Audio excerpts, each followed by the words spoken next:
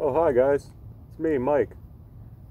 You know, I was just uh, in the off season now that Halloween's over. I was on my way to Florida on vacation. But guess what showed up at my house last night as I was packing? This son of a bitch. You recognize him? Hey, buddy, what'd you say your name was again? Let me take off his tape. I gagged him. It's Chippy. Yeah, well, Chippy, I don't appreciate you just showing up at my house and just watching me. I mean, that's something I would do. You're not allowed to do that. Oh, please, Mr. Myers, please don't hurt me. I just wanted to spread some holiday cheer and joy. Yeah, you got the wrong guy for that and the wrong holiday, buddy. There's only one thing I like to do.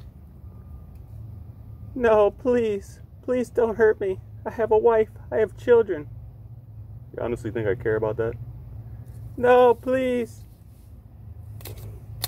Ah! Ah!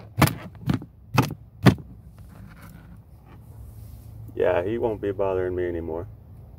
Merry Christmas, you filthy animal.